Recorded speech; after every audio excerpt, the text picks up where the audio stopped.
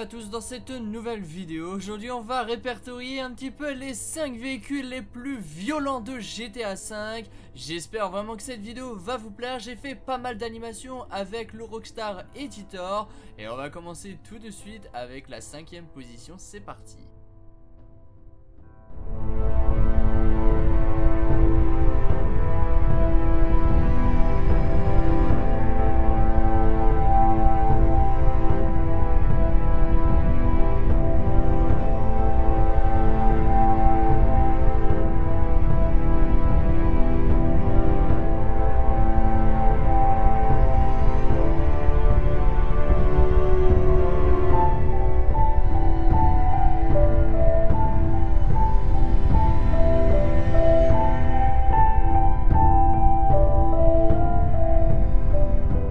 Bien évidemment reconnu, c'est le Warrig, un véhicule qui est disponible dans le film Mad Max Fury Road. Alors le modeur a recréé ce véhicule à la perfection, mais ce qui fait que ce véhicule est vraiment terrifiant et vraiment monstrueux, c'est les deux flammes qui peuvent sortir des pots d'échappement de chaque côté du véhicule, ce qui fait qu'il est vraiment terrifiant. Vous rajoutez la nuit des éclairs et du tonnerre, je peux vous garantir que les personnes qui seront face à vous vont détaler en courant et ils vont aller à une vitesse folle. En plus de ça, ce véhicule est surpuissant. Il n'est pas considéré comme un véhicule dans GTA V, mais comme un objet. Donc euh, pour vous dire que vous foncez dans n'importe quoi, tout ce qui se trouvera euh, face à vous va être démoli à une puissance astronomique. Comme par exemple pour les voitures, je peux les détruire comme je le sens.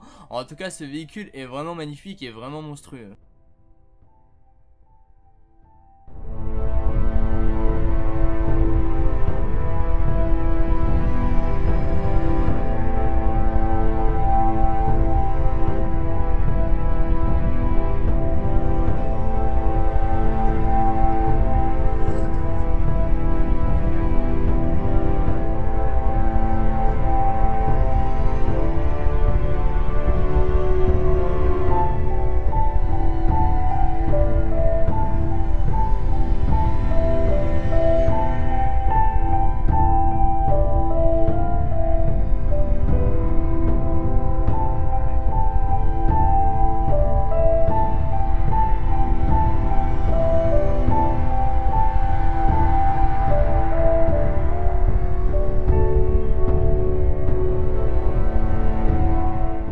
En cas d'apocalypse zombie, ce véhicule pourrait vraiment être super utile, muni d'un minigun à l'arrière, de katana sur les côtés, sur les roues et devant, muni aussi de boucliers de police sur l'avant du véhicule pour éjecter tout ce qui se trouvera sur votre passage, que ce soit des objets, des zombies, des humains ou même des véhicules, rien ne pourra échapper à ce véhicule qui est vraiment monstrueux, muni aussi d'un autre minigun sur le toit, d'une pelle et d'une hache au cas où ça peut toujours servir si les zombies tentaient de s'accrocher au véhicule. Hop là, vous lui coupez la main. Mais bon, avec tous les katanas qu'il y a, le seul zombie qui réussira à s'approcher de ce véhicule sera aussitôt empalé. Ce véhicule est vraiment, vraiment terrifiant quand vous le mettez la nuit. Le seul petit truc que j'aurais pu rajouter, moi, c'est de lui rajouter les flammes comme on a pu le voir sur le véhicule précédent. Mais en tout cas, le modeur a fait un excellent travail. Le véhicule est vraiment magnifique.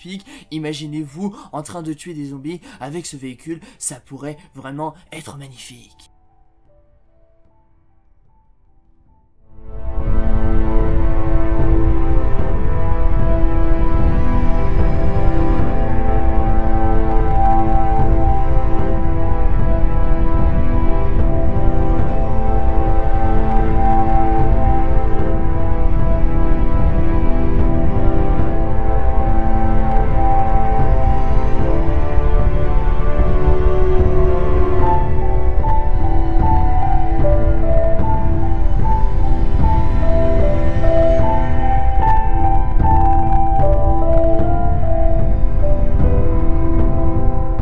Continue sur cette lancée avec le Giga Horse qui a été recréé sur GTA 5 Donc c'est encore une nouvelle fois un véhicule qui vient de Mad Max. Mais celui-ci je le trouve vraiment plus cool que euh, le camion. Tout simplement parce qu'il y a encore une nouvelle fois des flammes qui sortent du véhicule de chaque côté. Mais ces flammes peuvent brûler tout ce que vous voulez C'est-à-dire des voitures, des PNJ Enfin bref, vous pouvez vraiment tout brûler avec. Et c'est ça qui rend le véhicule vraiment super cool et vraiment super fun.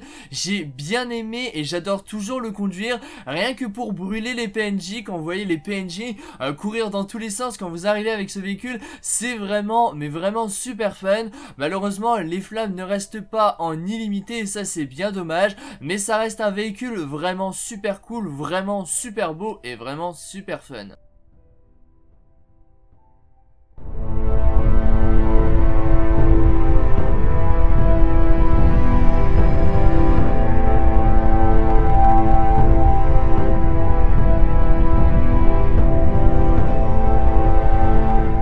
De mieux qu'une moto pour se déplacer lors d'une invasion de zombies, surtout si celle-ci est équipée d'un minigun sur la droite et de deux scies sur la gauche. Si des zombies tentent de s'approcher un petit peu trop de votre moto ou que vous essayez de vous échapper, les scies et le minigun pourront vous être très utiles. Vous pourrez vous frayer un chemin en tirant avec le minigun et les scies feront et termineront le travail si des zombies tentent de s'accrocher à votre moto. La carrosserie est vraiment blindée histoire que les zombies ne puissent pas détruire votre moto. Je la trouve vraiment super cool cette petite moto. Elle est vraiment chouette, il n'y a pas d'autre chose à rajouter. Je la trouve vraiment chouette et assez stylée.